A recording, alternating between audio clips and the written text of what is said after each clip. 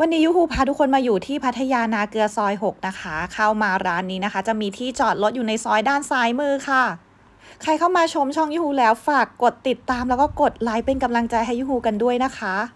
ร้านนี้เขาจะหยุดทุกวันพุธนะคะ ทุกคน อย่างที่บอกไปว่านั่งกินในทะเลทุกคนดูเป็นการนั่งกินในทะเลจริง ๆ เพราะว่าร้านนี้นะคะเขาทำยื่นออกไปในทะเลค่ะ ร้านนี้มีชื่อว่าซอต่ายซีฟู้ดนะคะ ร้านเด็ดร้านดังที่ใครๆก็ต้องมากินกันนะคะ เดี๋ยวเรามาเปิดเมนูดูไปพร้อม ๆ กันเลยค่ะ ซึ่งราคาก็ขอบอกเลยว่าราคาไม่แรงนะคะ ถ้าใครไม่อยากรอคิวนานนะคะยูฮูแนะนำให้มาเลยตั้งแต่บ่ายสามโมงครึ่งซึ่งยูฮูไปวันธรรมดานะคะ คนก็ค่อนข้างน้อย แล้วก็ทนแดดร้อนเอานิดนึงแต่ว่าเราก็จะได้ที่นั่งแบบในทะเลแบบนี้เลยทุกคนเอาแผ่นกล้องมาให้ทุกคนดูนะคะ ร้านก็จะเป็นแบบบ้านๆแบบนี้นะคะ ซึ่งยูฮูได้คุยกับที่ร้านนะคะเขาบอกว่าอาหารทะเลที่นี่คือจะสดมากๆ เพราะว่าเขาเนี่ยออกไปหากันเองนะคะจะมีชาวประมงแถวนี้ที่ออกเรือไปนะคะ แล้วก็ที่ร้านเขาก็จะรับซื้อแบบสดๆกันมาเลยมาทำให้เรากินค่ะ มาแล้วนะคะ จานแรกก็คือจะเป็นยำสองไข่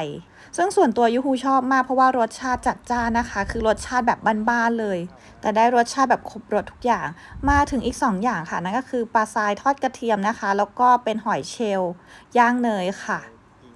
ยังไม่หมดนะคะ ยังมีอีกก็คือเป็นข้าวผัดปู แล้วก็เป็นทอดมันปู ซึ่งเราก็แบบสั่งมาลองทานนะคะ เห็นสั่งกันขนาดเนี้ยคือยูฮูไปกันแค่ 2 คนนะ แล้วก็คือแบบทานกันหมดตลอด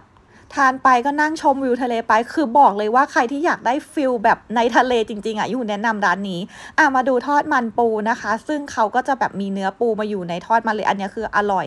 รสชาติดีแล้วก็กลมกล่อมเลยนะคะ มาถึงอีกหนึ่งจานนะคะ อันนี้คือเป็นข้าวผัดปูคือข้าวผัดร้านนี้คือแบบปูเป็นก้ามปูเหมือนกัน แล้วก็รสชาติแบบยูฮูชอบเข้มข้นดีนะคะ แล้วก็อีกหนึ่งจุดไฮไลท์ตรงนี้คือมีตู้กดตุ๊กตาด้วยทุกคนแต่ว่าคือไม่ใช่ของร้านนะคะ จะเป็นของบ้านที่อยู่แบบในชุมชนนี้นะคะเขามาตั้งไว้อันนี้คือยูฮูก็พยายามกดบอกว่า ถ้าพี่คีบได้นะพี่จะให้น้องนะคะ คนที่รออยู่เลยนะคะ ใครอยากไปร้านนี้นะคะ ก็ไปตามรีวิวกันได้จ้า